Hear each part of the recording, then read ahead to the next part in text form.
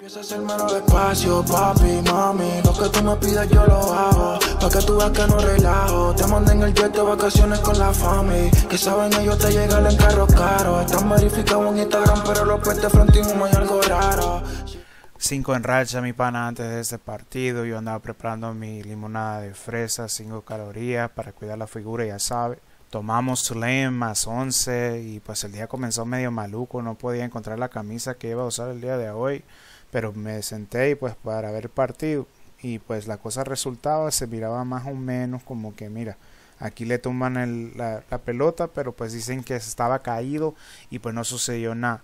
Más aquí, otra vez, dando adelante, estamos arriba, 7 a 0, más los 11 puntos que tomamos a menos 130, estamos a, ganando por 18 puntos.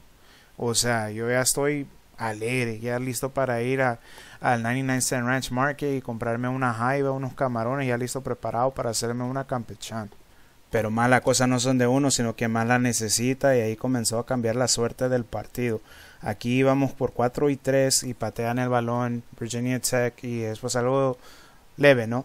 Pero este man, este imbécil, decide tocar el balón en vez de dejarlo ir correr, estás en la 20, están a 20 yardas, déjalo correr va a llegar más, más tarde, estaba yo visitando, llegas a la 10.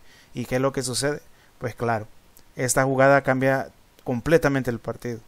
Fallan, lo mete, pierde el balón, pero resulta que dicen que es un touchdown.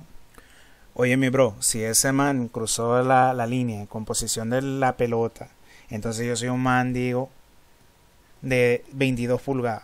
Porque ese man nunca cruzó. Se, se, le, se le fue el balón. Y entonces, ya mirando esa jugada que cambió por completamente el partido, y eso sí, los comentaristas repitiendo y repitiendo que, que la gente de Virginia Tech fue que manejaron 500 millas y que era como más un juego de casa de Virginia Tech. ¿Eso qué importa, oye? O sea, el partido es el partido la, la, la, motivación estaba al lado de Tulane. Estábamos, estábamos bien, o sea, como digo, fresco, ya listo para comer una campechana, tal vez una langosta, tal vez un sushi al lado, tal vez un 24 de cerveza. Pero esta jugada, mira, ¿cuándo cruzó ese balón? Para nada. ¿Y ahí para qué? Entonces de ahí digo, ¿para qué voy a avergonzarme? ¿Para qué arrestar la cobija? ¿Por qué avergonzar mi nombre? Bueno, voy a poner a hacer otras cosas. El partido resultó, perdimos como por 40, 50 puntos. Pero esa jugada fue la que cambió todo el partido.